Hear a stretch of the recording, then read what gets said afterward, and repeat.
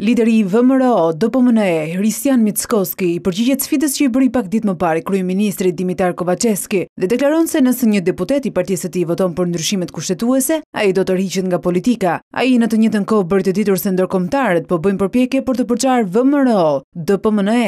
Po, kjo është e vërteta, derisa ne nuk e shohim të vërtetën në sy, nuk do të bëhemi më të mirë. E përsëris, nëse një deputet voton pro ndryshimeve kushtetuese, unë tërhiqem nga politika. Por ndërsa shumica qeverisëse është në kërkim të tetëdhjetë votave të domosdoshme për procesin e ndryshimeve kushtetuese, kreu i ASH-së, Arben Taravari, nuk e fsheh se ka kanale komunikimi me anëtarë të VMRO-DPMNE-së, që sipas tij mendojnë ndryshe nga partia. Di për disa atje që mendojnë ndryshe nga udhëheqësia aktuale, por sërish them se është vendim i partisë. Por, ka mendime ndryshe në VMRO-DPMNE nga ajo që thuhet publikisht dhe nëpër pres konferenca.